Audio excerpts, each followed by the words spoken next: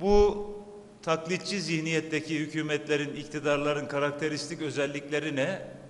Bunların karakteristik özelliği Erbakan hocamızın tabiriyle santral memurluğu, spikerlik ve maalesef millete verdiğini milletten fazlasıyla geri almak, tabir caizse kaşığın ucuyla verdiğini kaşığın sapıyla çıkartmak olarak nitelendirebileceğimiz veya da bizim çok sık söylediğimiz milletin sağ cebine koyup sol cebinden fazlasıyla almak olarak nitelendirebileceğimiz icraatlar artık ayan beyan ayyuka çıkmış bir şekilde karşımıza gelmektedir.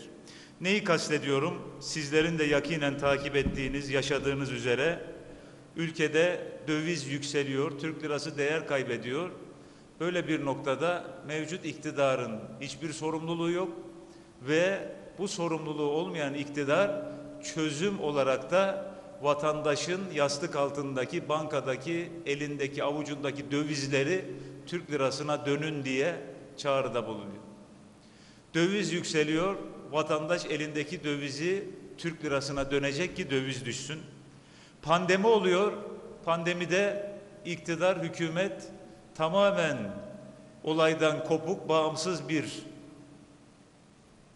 unsurmuş gibi özel sektöre diyor ki siz işçi çıkartmayacaksınız, böyle fedakarlık yapacaksınız. Bankalara dönüyor, bankalara diyor ki siz de kredi musluklarını açacaksınız, bol bol kredi vereceksiniz, siz de böyle fedakarlık yapacaksınız. Vatandaşa dönüyor, İban numarası veriyor, siz de cebinizdeki, elinizdeki, avucunuzdakini vereceksiniz, siz de böyle fedakarlık yapacaksınız. E, özel sektör fedakarlık yapsın, bankacılık sektörü, bankalar fedakarlık yapsın, 83 milyon memleket evladı fedakarlık yapsın, hükümetin, iktidarın herhangi bir fedakarlık yapmaya niyeti yok.